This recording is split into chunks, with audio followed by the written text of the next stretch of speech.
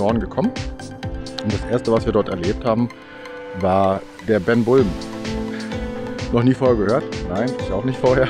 Gar nicht entdeckt. Man könnte sagen, das ist ein Tafelberg. Also äh, in Australien kennt man ja den ganz großen Isle Rock und der Ben Bulm ist das sozusagen in Nordeuropa. Es ist ein riesiger Tafelberg, äh, der richtig, richtig groß ist und richtig, richtig steil ist. Und äh, man kann also direkt vor Ort dort äh, wandern gehen. Es gibt da ein paar Wanderwege, wir haben uns das auch gemacht. Und das soll dieses äh, auf sich wirken lassen. Also das ist wirklich äh, eine tolle Gegend und äh, hatten wir vorher so überhaupt nicht so äh, irgendwie erlesen. Und auf jeden Fall nicht nur wanderwert, auch sehenswert, kann man gut Zeit verbringen. Also das ist also eine tolle Gegend um den Ben Bulm herum. Wir waren auch an der Küste. Donegal ist ein kleiner Küstenort, den man sich da gut anschauen kann. Hat uns auch sehr gut gefallen. Äh, das sind so ein bisschen so die ab vom touristischen Strom sind und trotzdem eben äh, das alles bieten, was vielleicht also sich man wirklich von Irland wünscht sozusagen. Ähm, wir sind auch mitten durchs Land gefahren, waren äh, in einem Campingplatz, wo man sozusagen, also privat, halb privat sozusagen, wo Leute sozusagen ähm, ihr eigenes Grundstück sozusagen zur Verfügung stellen und das ein bisschen aufgepeppt haben für Fremde. Pets Air heißt das. Dort waren wir auch zwei Tage, zwei Nächte gewesen. Also wer mal so ein bisschen in die irische Familie reingucken möchte, äh, also nicht nur Städte und Küsten und sowas an Landschaft angucken, sondern vielleicht auch ein bisschen bei den Menschen auftauchen, eintauchen möchte, ist das eine Empfehlung von unserer Seite. Also ein Pärchen, etwas älter, so um die 60 sei, denke ich mal, 55, 60. Äh, tolle Empfehlung. Also äh, die machen das übrigens so, man bezahlt so viel wie man möchte und hat dann diese normale Infrastruktur äh, wie auf einem Grundstück, wenn man sagt, okay, da würde ich mich jetzt privat hinstellen, das hat man alles dort vor Ort. Also mit einer kleinen, mit einer kleinen Gärtnerei und einem kleinen Bach gelegen und äh, man wird da bewirtet, äh, kriegt da quasi gleich als Empfang ein Stück Kuchen und einen Schluck sozusagen. Also wirklich tolle Erfahrung sozusagen. Pets Air, Adresse zeige ich da mal, mal rein. Der nächste Ort, den wir sozusagen dort an der Westküste besucht haben, war Galway. Ähm, es ist vielleicht die Künstlerstadt schlechthin. Viel Musik. Das ist übrigens auch typisch irisch, dass man dort häufig, äh, ich weiß gar nicht, ob ich das vielleicht besser so in diese Richtung laufe. Ja, vielleicht wegen dem Licht sozusagen. Äh, ich hoffe, es ist okay so, aber Ton ist ja auch wichtig. Ähm, Galway ist äh, viel Musik, viel Tanz, viel Popkultur, abends Musik.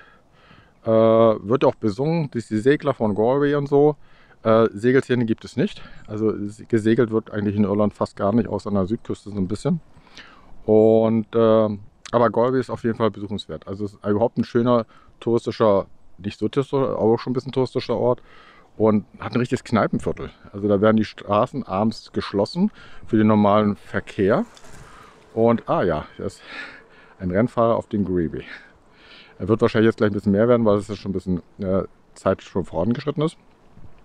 Und da ist ein richtiges Kneipenviertel, das alles abgesperrt wird für den Straßenverkehr und die Leute äh, äh, flanieren da so rum und äh, wechseln von Kneipe zu Kneipe und äh, da ist die Musik ein bisschen dort und da ist die Musik so ein bisschen dort. Also das ist auf jeden Fall sehenswert in Galway. Ähm, das Land selbst ist, äh, wie gesagt, auch ziemlich hügelig. Die Küste ist ja häufig dann auch Steilküste, aber es gibt auch, wir haben dann auch mal gestanden direkt zwischen den Dünen am Strand. Äh, das findet man auch. Riesige Strände, weite Strände, leere Strände, kein Mensch läuft darum. Das haben wir also dort eben auch gefunden. Äh, man kann also direkt an die Küsten ranfahren, in diese riesigen Buchten und Strände. Das Wasser ist kalt, 14 Grad, ist also auch im Sommer äh, nicht Badetemperatur. Ich bin da zwar auch mal baden gegangen, weil mir richtig heiß war, weil also am Tag immer richtig warm war, aber das ist schon kalt. Hoher Salzgehalt ist ja auch klar sozusagen, ne? aber es ist natürlich eine Erfahrung, mal im Nordatlantik baden zu gehen sozusagen. Ne? Dann waren wir auf der äh, Dingle-Halbinsel. Das ist die Halbinsel, die etwas nördlich ist von, äh, äh, von dem Ring of Kerry. Und äh, finden wir also spannender als den Ring of Kerry, den wir danach äh, quasi kennengelernt haben. Übrigens, die Iren machen das toll. Tolles Marketing, ne? Ring of Kerry. Wie klingt das denn? Ne? Das klingt so wow, wie toller Schatz oder so. Und Dinge, ähm, da gab es früher mal einen Delfin, der ist, den gibt es nicht mehr, der ist gestorben. Er wird natürlich trotzdem ein bisschen noch vermarktet mit ein paar Inseln, die vorgelagert sind, wo man auch Touren machen kann. Und Dingel ist schon ein sehr starker, Ort selbst ein sehr stark touristischer Ort. Für uns war es viel spannender, den Pass, den Corner Pass davor Wir sind also auf der Nordinsel von Dingle äh, angereist, sind dann über diesen Connerpass gefahren, der de facto eigentlich für Wohnmobile, äh, ich sage einfach mal, gesperrt ist. Nicht gesperrt im Sinne von, die dürfen da nicht durch, sondern es gibt Hinweisschilder, wie hoch und wie breit man sein sollte, um mit dem Auto rüber zu fahren. Und wir waren, ich sage mal, im Grenzbereich und äh, sind rübergefahren. War kein Problem. Also wir sind schon kompliziertere Straßen gefahren. Und das ist eine tolle, ein toller Pass. Man hat dann also wirklich zu, nach Norden und nach Süden runter herrliche Sicht. Kann also bis zu diesem Ort Dingel auch gucken sozusagen. Gutes Wetter, vorausgesetzt, ist ja klar. Und das ist eine schöne Atmosphäre. Also ganz anders, was man sonst in Irland äh, sonst, sonst erlebt. Äh, das ist schon auf 630 Meter Höhe ungefähr, so glaube ich war das, so 680 Meter. Äh, ein tolles Panorama, was man da erlebt. Und auch überhaupt so die, äh, so in diesen Berg, also in diese Berge reinzufahren, hat man sonst in Irland gar nicht sozusagen. Also der Connor Pass, tolle Empfehlung. Und Dingelort habe ich ja gerade so ein bisschen erzählt. Ähm, jo. Achso, übrigens, Dinge gibt es auch eine Destille. Also jeder größere Ort in Irland hat eine Destille. Also wer gerne Whisky trinkt, äh, kann sich da auf so einer Rundreise immer mal bedienen und hat da äh, immer mal was zu trinken sozusagen. Ne? Ja, und Dingel ist noch äh, vielleicht bekannt als Fischereiort. 8% der Fischereieinkünfte sollen aus Dingel kommen. Ähm, ja, es waren glaube ich zwei, drei Fischkutter noch da. Also das, was wir europaweit erleben, vielleicht sogar weltweit, merkt man in Irland auch. Also Fischfang findet fast nicht mehr statt, weil es keinen Fisch mehr gibt, weil wir einfach zu viel Fisch gegessen haben oder einfach zu viel Fisch äh, quasi aus dem Meer geholt wurde. Ähm, was wir noch erlebt haben, wir sind dann sozusagen, äh, ah nee, das stimmt, das war auch noch ein Ding. Annas Cow Lake. Also sind mal so richtig reingefahren. Toll. Also das war, haben wir nie erwartet, so eine Situation. Wir waren da total alleine an so einem See. Es war auch nicht ganz einfach dahin zu kommen, aber kann man ganz normal, wir haben ja ganz normales Auto, also nichts mit Allrad oder so. Auf Straße ist alles nur schmal und äh, man muss ein bisschen gucken, dass man da äh, das Auto quasi da heile so durchkriegt. Aber möglich, kein Problem total allein und man kann durch die Berge da wandern. Also es ist ein großer See, es gibt mehrere große Seen. Äh, der einzige Hinweis ist, man braucht auf jeden Fall was gegen äh, diese kleinen Mücken, Mitchis nennen wir die. Ähm, äh, die sind ziemlich aggressiv, da muss man also ein bisschen was vorher sich kaufen. Und dann kann man tolle Wanderungen oben machen. Also man kann die Berge da völlig allein da bewandern und äh, Wetter passt quasi, ist überhaupt nicht schlimm. Man ist also so auf 300, 400, 500 Meter Höhe. Äh, also wer da gerne mal mit Wanderschuhen unterwegs ist, äh, absolute Empfehlung. Wir waren dann auf einem ganz anderen äh, Punkt danach, am In, In Beach. Ein Strand, den man befahren kann mit dem Auto. wir waren nicht die Einzigen, sondern ich sage mal, standen ungefähr 200, 300 Autos, Autos am Strand. Und ein herrlich langer, breiter Strand. Also das ist, die Wellen kommen ein bisschen rein, es wird gerne gesurft. Äh, die Iren surfen gerne, also Surfbretter ist sozusagen auch etwas, was die Iren dort sozusagen äh, betreiben. Meistens mit Neopren, weil das dann das Wasser eben so kalt ist. Und dieser Innenbeach ist äh, riesig dafür. Also das ist toll. Also das war eine schöne Stimmung.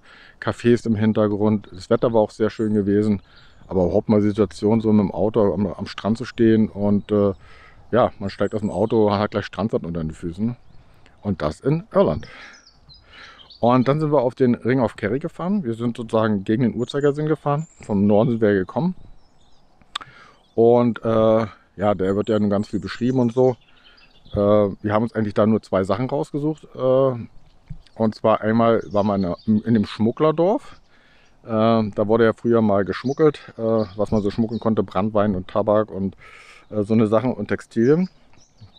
mal kurz gewesen, wie der Ort hieß. Irgendwo habe ich mir das hingeschrieben. Äh, Port Manger. Port Manger. Ähm, und äh, dort ist quasi, da wird nach wie vor noch geschmuggelt. äh, aber viel eleganter als früher. Äh, früher wurde mit Schwert und sowas und äh, Pistolen und so. Heute macht man es einfach mit ordentlichen Preisen. Ne? Wir waren in einem Café und da schmeckt der Kaffee lecker und der Kuchen ist gut und äh, ja, die hauen ganz schön Preise raus. Und trotzdem ist das eine schöne Atmosphäre. Also auch ein kleiner Hafen dort. Äh, das ist ja der Übergang mit einer Brücke auf die äh, ehemalige Insel, das ist jetzt quasi angebunden ist. Auch dort ist äh, eine schöne Atmosphäre, wenn man also da ein bisschen sozusagen die irische Kultur auf sich wirken lassen will, ist man da sehr gut aufgehoben. Und das zweite, was wir gemacht haben, ist im Südwestzipfel sozusagen der Kerry-Halbinsel. Äh, auf der Abbey Island waren wir gewesen. Das ist eine Insel, auf der ein ehemaliges Kloster ist oder Mini-Kloster nenne ich das jetzt mal. Und diese Insel fällt, äh, ist eine Insel, wenn Flut ist und ist angebunden ans Land, wenn Ebbe ist. Also man kann quasi bei Ebbe rüberlaufen und inzwischen ist relativ viel Sand angespült. Man kann also fast immer rüberlaufen. Also bei richtig Flut oder Springhochwasser sozusagen, dann geht das nicht mehr. Und das ist äh, quasi ein Archipel von vielen kleinen Inseln, die da rumgelagert sind. Also da, da könnte man eine ganze Woche verbringen. Äh, da ist es auch so ein bisschen, da könnte man mit Kajak fahren, da könnte man Bahn gehen bei schönem Wetter, man könnte wandern. Äh, das sind äh, auch riesige Felsen, Granitfelsen, denke ich mal, die da sozusagen äh, vom Gestein her sind. Man sieht diese Abschürfung von der äh, Erdgeschichte und von der Eiszeit, die sozusagen sich da drüber geschoben hat. Ist ja auch sozusagen dort auch eine bestätigte Gegend, wo man dann diese Theorie quasi jetzt auch sagen, vor 100 Jahren irgendwie dann auch gefestigt hat.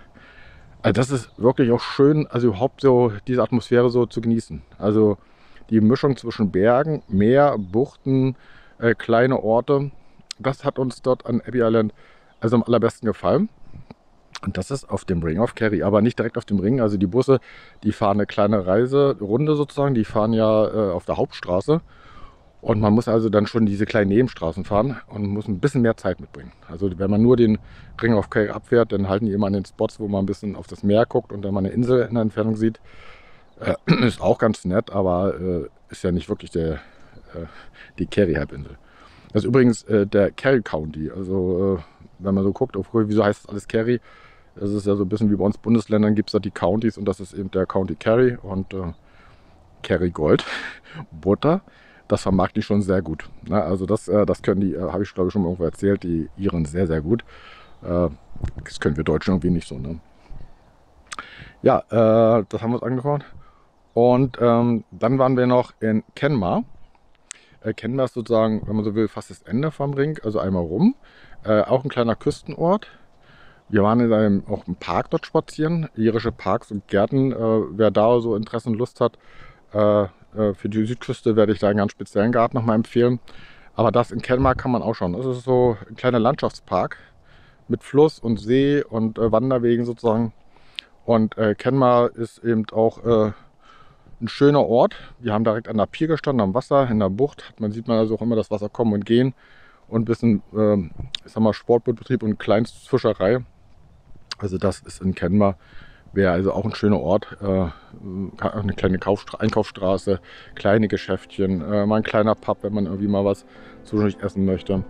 Also das ist kennbar, man sagt, das ist fast nicht touristisch und trotzdem sehr charmant. Also äh, auch gerade wenn so ein bisschen, äh, ich sag mal für die Frauen, ein bisschen einkauft werden will, so ein bisschen was Irisches sucht, äh, ist da in Kenmar ganz gut.